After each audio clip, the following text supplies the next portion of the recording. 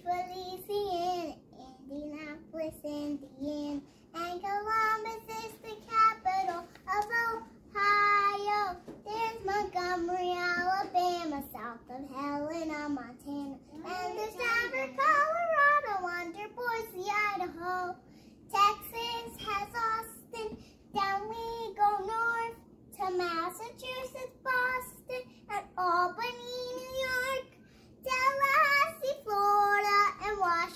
D.C., with Santa Fe, New Mexico, and Nashville, Tennessee.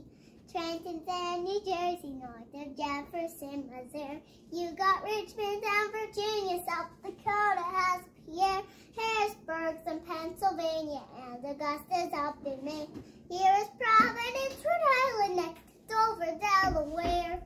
Concord, New Hampshire, just a quick jaunt to Montpelier, which is up in Vermont.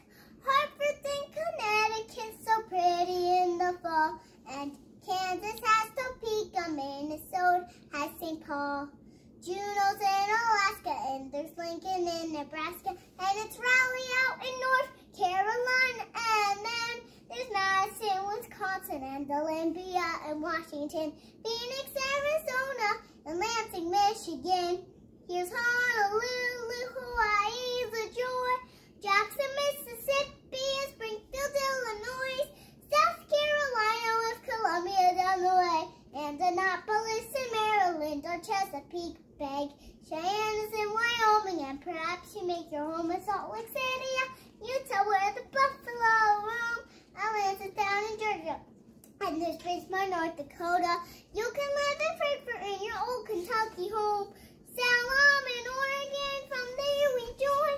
Little Rock in Arkansas, Iowa's got Des Moines, Sacramento, California, Oklahoma, and its city. Charleston, West Nevada, Carson City. That's all the capitals there are.